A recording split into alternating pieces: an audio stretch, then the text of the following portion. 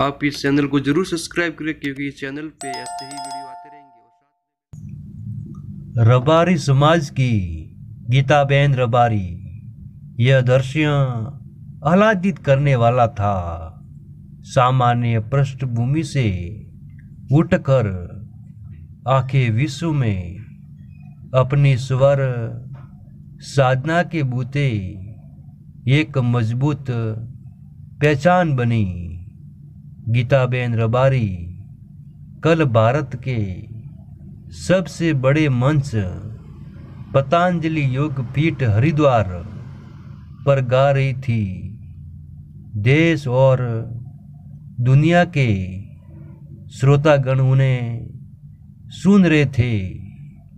पूज्य योग ऋषि जी उन्हें आशीर्वचन दे रहे थे।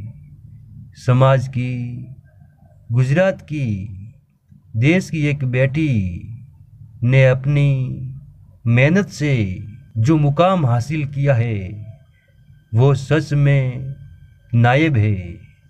आप इस तरह अपने भजन, भाषा और बेस को उत्कर्ष तक ले जाती रहो।